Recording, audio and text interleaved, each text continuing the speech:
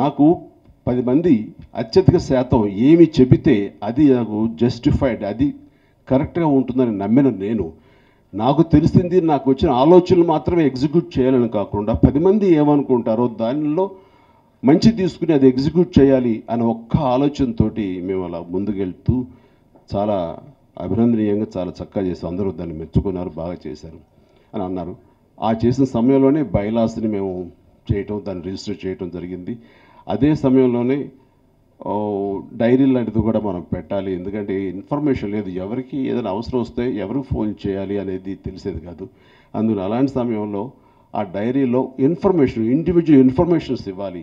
అలాగే కొంతమంది directors producers కొన్ని సంస్థల యొక్క అడ్రస్ ఇస్తే కనుక వాళ్ళు వెళ్ళి ఆ సంస్థలకి వెళ్ళి ఏదైనా వేషాలు వేయడానికి అవకాశం ఉంటుంది. ఎలాంటి అగమ్య అగమ్యగోచరంగా వెళ్ళి ఎక్కడికి వెళ్ళాలి తిని అయోమయ పరిస్థితి కలెక్ట్ చేయకూడదు. ఇది ఒక గైడెన్స్. ఈ డైరీ ఒక గైడెన్స్గా ఉండాలి. ప్రతి ఒక్కరు మార్గదర్శకంగా ఉండాలనే ఉద్దేశంతో వేసాం అప్పట్లో చిన్న పాకెట్ డైరీగా ఉండేది చిన్నది.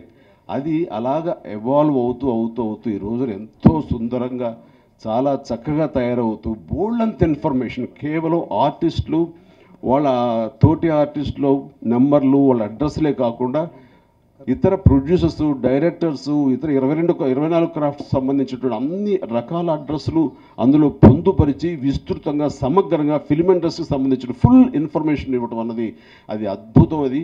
అండ్ ఎవరిని అడుక్కోనక్కర్లేదు ఎవరి వాళ్ళకి అనిపించి వెళ్ళాలంటే కనుక ఆ రోజు వెళ్ళి వాళ్ళని అడగచ్చు. అండ్ ఆ తర్వాత తర్వాత ఇన్సూరెన్స్ కానీ అలాగే హెల్త్ ఇన్సూరెన్స్ కానీ పెన్షన్స్ అని కానీ ఇప్పుడు ప్రత్యేకించి గత రెండు సంవత్సరాలుగా కళ్యాణ లక్ష్మి అని కానీ నా నా నా పేరుని తోటి చిరంజీవి కళ్యాణ్ అని అమ్మగారి పేరుతోటి విజయనిర్మ గారితో ఏదో చేశారు. అది ఉందిగా? ముందుగా తీస్తే ఉంచండి. పెన్షన్స్ అది అమ్మగారికి ఇచ్చే గౌరవం మనం అది. ఎందుకంటే ఆవిడ చాలా కంట్రిబ్యూట్ చేశారు. ఎవ్రీ మంత్ పదిహేను వేల రూపాయలు చొప్పున అది ఇస్తుండేవారు. ఆ రకంగా విజయనిర్మల గారు ఆవిడ ఉన్నంతకాలం ఆ రకంగా ఎంతో అంత ఇతోతికంగా ఇస్తుండేవారు. అట్లా మేము కూడా మా కాలాన్ని వెచ్చించి ఇతర దేశాలకు వెళ్ళి ఈవెంట్స్ని చేసి అక్కడి నుంచి ఒక కోటి రూపాయల దాకా తీసుకురావడం జరిగింది అది లాస్ట్ ఇయర్. ఎందుకంటే ఇది సిల్వర్ జూబ్లీ ఇయర్ కాబట్టి.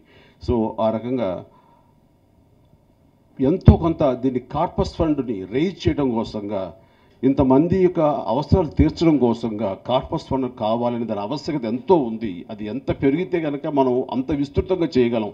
ఎందుకంటే గతంలో నాలుగు వందల మంది మూడు వందల మంది మాత్రమే ఉండేవాళ్ళు. ఈరోజు తొమ్మిది వందల మంది దాకా ఆర్టిస్టులు ఉన్నారు. వాళ్ళలో సగం మంది పైగా అవసరార్థులు ఉన్నారు. అలాంటి వాళ్ళకి చేయూత ఇచ్చే విధంగా మనం చేసి సరిపోదు. ఇంకా చేయాలి.